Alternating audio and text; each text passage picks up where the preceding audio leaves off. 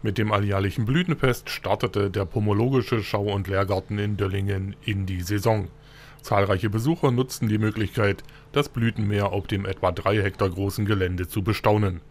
Rund 400 Obstgehölze wachsen und gedeihen hier und stehen derzeit in voller Blüte. Bei Pyrungen, gemeinsam mit der Blütenkönigin, konnte die Obstvielfalt genauer unter die Lupe genommen werden. Der neueste Hingucker im Döllinger Pomogarten ist ein stattliches Bienenhotel, welches auf vielfaches Interesse stieß. Auch das Angebot der regionalen Händler und natürlich vor allem der zahlreichen Gärtnereien fand großen Anklang